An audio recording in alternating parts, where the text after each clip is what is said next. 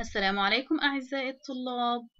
أهدافنا هي أن يحدد المتعلم الأنظمة والقوانين المطبقة في المدرسة والحي. أن يستنتج المتعلم أثر النظام والقوانين على الفرد والمجتمع. هيا نتذكر صفات المتعلم الجيد. شغوف مغامر مثابر مقيم متعاون متأمل مطلع مستجيب. كيف كان التعليم قديما؟ اعتمد التعليم في بدايته على المطوع الذي كان يعلم الطلاب تلاوة القرآن والكتابة والحساب. ومن أوائل المدارس النظامية في دولة الإمارات العربية المتحدة المدرسة الأحمدية. وهي مدرسة أهلية شبه نظامية تأسست في دبي عام 1912 هيا أقرأ لأتعرف إلى النظام في مدرستي. أحيي علم بلادي بحماس. أتعامل مع معلمي باحترام وتقدير. ألتزم الهدوء في المكتبة. أحترم أنظمة المدرسة وأتبع التعليمات. لا أتغيب عن مدرستي وأحرص على متابعة دروسي. أشارك في الأنشطة الرياضية لأن العقل السليم في الجسم السليم. أبادر في الأعمال والأنشطة المدرسية لأكون متميزا ومبدعا. أتعرف القواعد الذهبية لركوب الحافلة المدرسية. أصعد إلى الحافلة بنظام من المكان الآمن.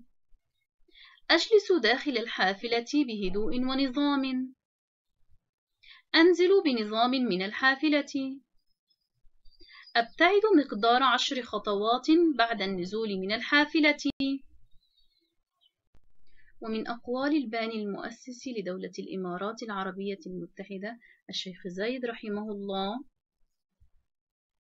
إن رصيد أي أمة متقدمة هو أبناؤها المتعلمون وإن تقدم الشعوب والأمم إنما يقاس بمستوى التعليم وانتشاره المغفور له بإذن الله تعالى الشيخ زايد بن سلطان آل نهيان رحمه الله. ولا ننسى أبدا حفرة التعلم وهي رحلتي في التعلم. أعتقد أني أعرف الإجابة. إنه أصعب مما توقعت. أنا متحير. أحتاج بذل المزيد من الجهد. يبدو أنني فهمت. نعم لقد فهمتها الآن. هيا شاركنا البحث. ما هي الممتلكات العامة للدولة؟ المساجد المدارس المستشفيات الجسور الحدائق العامة الطرق. هيا إلى ركن المعرفة. نظافة مدينتي مسؤوليتنا جميعا. الالتزام بتطبيق القوانين. أحافظ على جمال بلادي فلا أكتب على الجدران. أحافظ على الممتلكات العامة. الحذر والانتباه أثناء القيادة. هيا أصل بين الصورة والسلوك فيما يلي. أحافظ على ترتيب وجمال الحديقة. أستخدم الأماكن المخصصة للمشاة. أضع المخلفات في الأماكن المخصصة لها. هيا. أحافظ على ترتيب وجمال الحديقة. أحسنتم. أستخدم الأماكن المخصصة للمشاة. رائعون. أضع المخلفات في الأماكن المخصصة لها. أحسنتم. ومن أقوال الشيخ زايد رحمه الله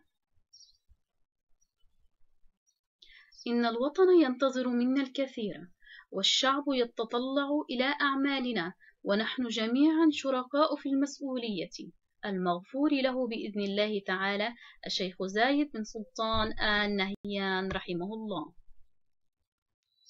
هيا طلابي لا ننسى التغذية الراجعة ماذا تعلمت؟